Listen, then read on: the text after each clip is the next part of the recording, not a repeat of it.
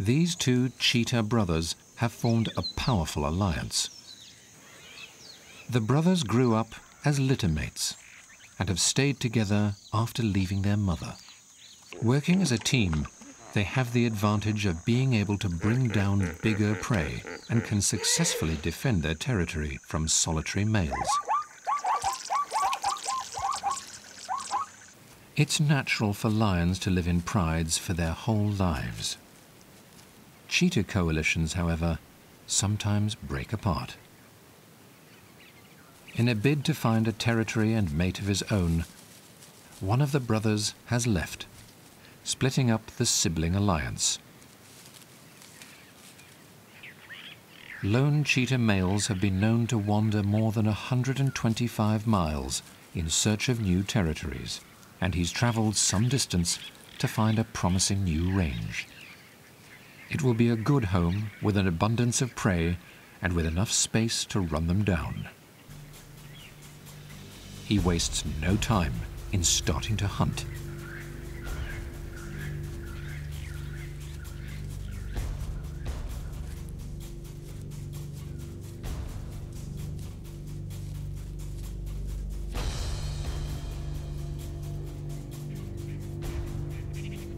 Unlike most cats, the cheetah's claws are permanently exposed. Useful for extra grip while running at high speeds.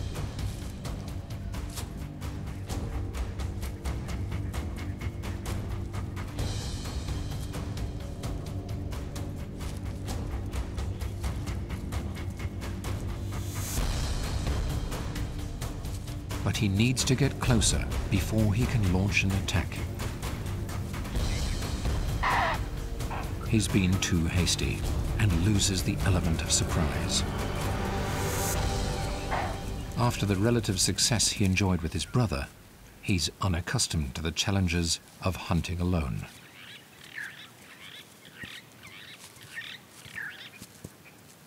Adult kudu are large and powerful, while he could easily outpace them, they are too big for him to bring down by himself. Without his brother, he will need to learn how to catch smaller yet faster antelope.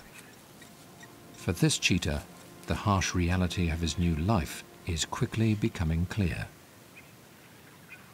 It's not easy to be successful at the top of the food chain when you're on your own. The Cheetah brothers have now gone their separate ways, and each is destined for a different fate.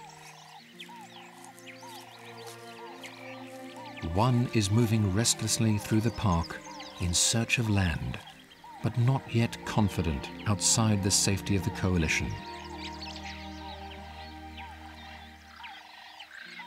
The other has proved more capable of living a solitary life he's found and secured a new territory, which he will defend as his own. Here he will surely become a proficient hunter, already showing potential by taking down a kudu female alone.